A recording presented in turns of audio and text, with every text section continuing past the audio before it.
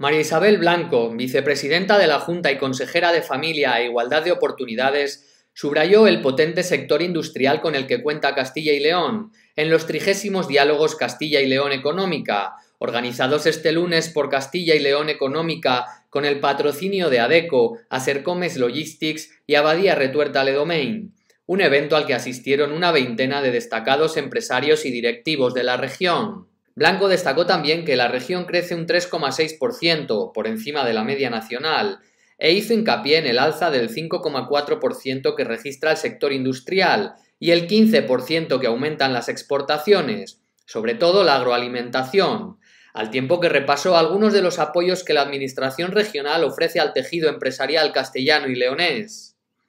En su intervención, Ignacio San Millán CEO de Acercomes Logistics, empresa que trabaja como agente de aduanas, transitaria y operadores y que cuenta con 20.000 metros cuadrados de almacenes en Burgos, pidió a las empresas de Castilla y León que apuesten por los negocios locales a la hora de su expansión internacional, ya que son las que generan empleo en la región y evitan que la gente joven se vaya.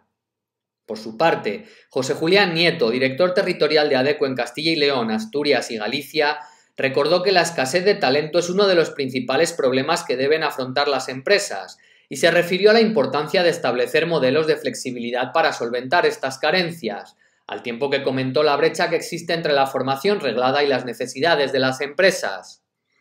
A los trigésimos diálogos Castilla y León Económica asistieron también Augusto Cobos, director general del Instituto para la Competitividad Empresarial, Enrique Valero, director general de Abadía Retuerta Le Domain, César Martín, director de Namo Palencia, José María Jiménez, director de fábrica de Mars Arevalo, José Alfonso Herrero, director de planta de Audens Food Zamora, Ricardo Rodríguez, director general de Europe Snacks, Rubén Carramiñana, presidente de Copiso, José María Martínez, director general de Curia Spain, Rafael Pérez Ruiz, CEO de Iberfruta Muerza, Santiago Tejedor, director general de Grupo Tejedor Postquam, Rubén Fernández Calvo, vicepresidente y CEO de Chocolate Strapa, Juan Luis Feltrero, presidente del Grupo Feltrero, Florencio Lázaro, director general adjunto de Grupo Palacios, Alberto Guijarro, CEO de Granalu, Andrés Ortega, CEO de Ambienter,